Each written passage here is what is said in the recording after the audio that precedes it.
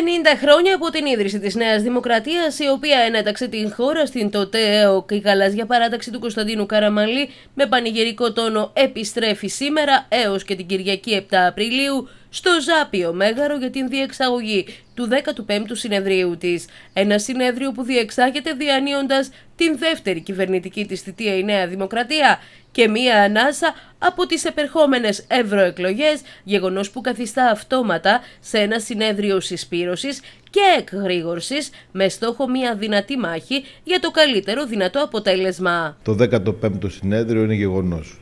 5, 6 και 7 Απριλίου στο Ζάπιο Μέγαρα πραγματοποιείται το επιτιακό αυτό συνέδριο για τα 50 χρόνια της Νέας Δημοκρατίας. Θα είναι όλοι εκεί, όλοι οι πρώην αρχικοί, όλοι οι βουλευτές, όλα τα στελέχη.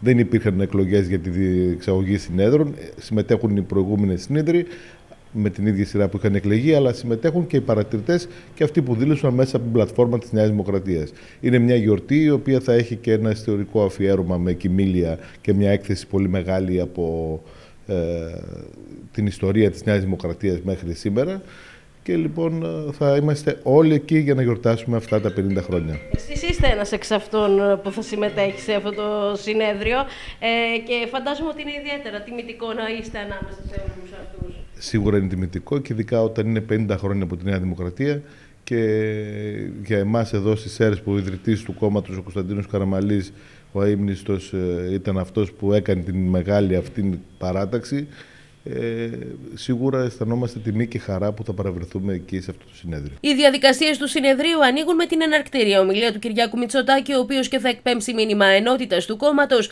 αλλά και θα διατυπώσει τα διλήμματα των ευρωεκλογών. Εμφατικές αναφορές αναμένονται να γίνουν από τον Πρωθυπουργό στην προσήλωση του κόμματος στις ευρωπαϊκές αρχές και αξίες, αλλά και η συμβολή του στην πορεία της χώρας ως μέλους των ευρωπαϊκών κοινοτήτων, είτε ως κυβέρνηση είτε ως αντιπολίτευση, ενώ κεντρικό ρόλο στις επισημάνσεις θα έχει και η διανομή και ο ρόλος της Νέας Δημοκρατίας ως παράγοντας πολιτικής σταθερότητας κατά τη διάρκεια αυτών των δεκαετιών. Θα μην ξεχνάμε ότι είμαστε σε μια προεκλογική περίοδο ήδη. Σε δύο μήνες περίπου, σε 70-68 μέρες, έχουμε τις ευρωεκλογές. Ε, οι δημοσκοπήσεις αποτυπώνουν την ε, στιγμή που γίνονται. Εμείς θα κυνηγήσουμε πάλι να πάρουμε τα μεγαλύτερα ποσοστά ε, σε όλη την Ελλάδα αλλά και στο νομό. Εντάξει, αυτό δεν το συζητάμε. Η Νέα Δημοκρατία θα είναι το πρώτο κόμμα και με πολύ μεγάλη διαφορά. Εντάξει, υπάρχουν κάποια προβλήματα αυτή τη στιγμή με τους τελευταίους νόμους και την αντίδραση του κόσμου. Πιστεύουμε ότι θα μπορέσουμε να τα ξεπεράσουμε αυτά και να μαζέψουμε όσο γίνεται το ποσοστό να είναι μεγαλύτερο για τη Νέα Δημοκρατία και στο νομό και στην Ελλάδα.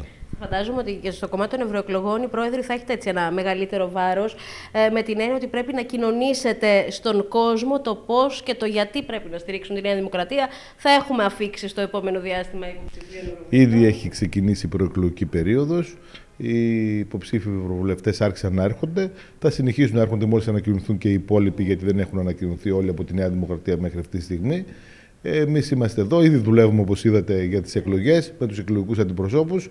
Ε, και στην Αθήνα στο συνέδριο θα υπάρχει μια ε, σύσκεψη των Προέδρων μαζί με το οργανωτικό για να δούμε το πώς θα κινηθούμε από εδώ και πέρα. Γίνονται τηλεδιασκέψεις συνεχόμενες, ε, είμαστε σε επαφή με την κεντρική διοίκηση και είμαστε έτοιμοι για τις εκλογές. Άλλωστε ήταν πολύ κοντά οι εκλογές οι προηγούμενες, οπότε υπάρχει και η τεχνογνωσία και στο νομό Σερών, εγώ θα μιλήσω περισσότερο για εδώ, αλλά και σε όλη την Ελλάδα από την κομματική οργάνωση της Δημοκρατίας για να μπορέσει να ανταπεξέλθει με επιτυχία.